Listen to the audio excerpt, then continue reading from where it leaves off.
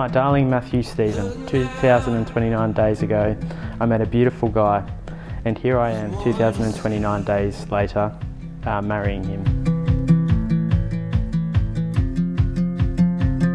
Tashi, as soon as I met you, I knew Maddie was in trouble. In a good way. Maddie's very, very lucky to have met a person like you. Caring, loving heart, his own personal nurse. If there was one person in the whole world, Tash, it'd be you and you only. Remember that. From the first time he visited, Trish and I decided pretty early on that, that Tashi probably wasn't going to find anyone better than Matt, and, and we were quite concerned about what would happen if it didn't last. Your heart, soul, and brain makes me fall more deeply in love with you every day. And you as a whole makes me feel like every day for the rest of my life, our lives, will be okay when I have you by my side.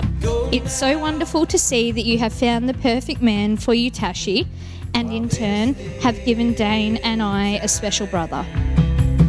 Tash, I can promise you that my brother, for the rest of his life, will be strong for you. He will be determined to make sure you both get through life together in the happiest way possible. Mate, me and Mum are so proud of you. To your credit, you just kept getting up to achieve more and more, and now you have just got married. Well done, mate. Always invest your time and energy into making each other happy, making each other laugh. When times are tough, most importantly, make each other feel loved. I am so lucky to call you my best friend, my companion, and in a few hours, my husband.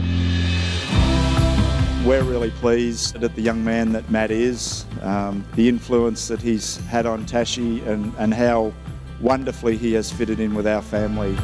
My love, here we are. Who'd have thunk it? 160 kilometres each way over five years, around 150,000 kilometres, which is 10 times around Australia. And now I'm lucky enough to know every road sign from here to Werribee. Tashi Ann, today I get to marry my best friend, my true love and my one and only. I promise to be there for you and to give you my whole heart. I call you my Tashi because you are my everything.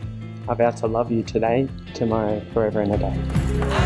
Tash, it is my hope for you that when Matt brings you flowers on your first wedding anniversary, that you experience today when you hold each other and dance for the first time as a married couple.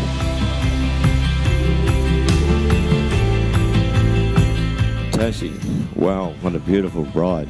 Tashi, I'd like to thank you very, very much for marrying Matthew. I've prepared a ripping speech for this occasion. Now that I'm a married man, Tashi has insisted that I read a speech that she has written.